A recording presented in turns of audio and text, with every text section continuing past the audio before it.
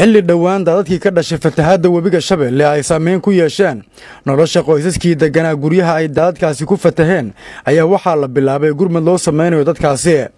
Xildhibaano ka tirsan golaha baarlamaanka dowladda federaalk soomaaliya oo isu xilqaamay inay u gurmadaan qoysaskaasi ayaa waxa ay sameeyeen. Dadaallo lagu garab istaagayo shacabkaasi iyadoo dadka ay saamaynta ku yeesheen daadadkii ka dhashay fatahaadda webiga shabeelle ee ku nool. Degmada afgooye iyo deegaano kale oo ka mida gobollada dalka ay bilaabeen in gurmad loo sameeyo. Xildhibaan nuur siidow baaba oo ka mid ah mudanayaasha golaha baarlamaanka soomaaliya ee isxilqaamay ayaa sharaxaad ka bixiya gurmadka ay la gaari doonaan dadkaasi. Arrinta degmada afgooye waxaan ula soconay si dhab ah weliba si hoose maalmihii ay ku bilaabanayeen maxaan ku yihahdaa fatahaada. Webiga uu jabsanayay maxaan ku yihahdaa biyaha ay ku fatahayeen. Xaafado ka mid ah degmada afgooye runtii waa wax laga xumaado in maaragtay degmadii afgooye oo soddon kilomitr inoo jirta.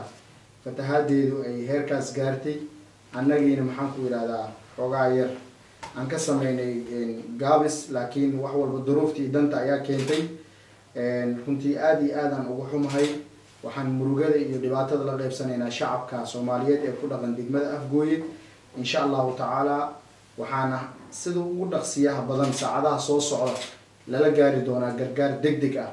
Runtii meesha waxaa ka dhalatay xaalad bini aadamnimo oo khatarteeda ay leedahay sidoo kale xildhibaanka ayaa xusay in xaaladda degmada afgooye ee gobolka shabeellaha hoose ay tahay mid aan indhaha laga qarsan karin maadaama ay dadku isugu darsameen daadadkii ka dhashay roobabka xagaaga iyo fatahaadda webiga shabeelle isaga oo dalbay in gurmad kala duwan oo dhan walba ah la gaarsiiyo dadkaasi.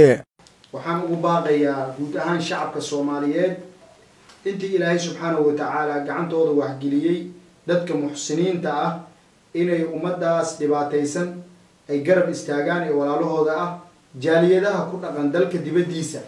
Inay maaragtay gargaar deg deg ah ay la soo gaaraan ummaddan masaakiinta ah oo dhibaataysan.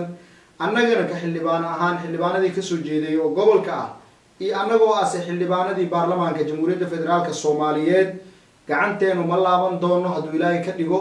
Sida ugu dhaqsiyaha badan waxaan rajaynaynaa inaan weliba aan annaga tagno aan indhahaygana ku soo aragno shaqada meesha ka socotana iyo wixii aan u qaban lahayn ummadaasna aan idinla wadaagno. Saxaafadda hadduu ilaahay ka dhigo marka hadduu waxaan waxaan waxaan allah subxaanahu watacaala ka baryayaa dhibaatadan taagan ilaahay baa naga dulqaadi kara.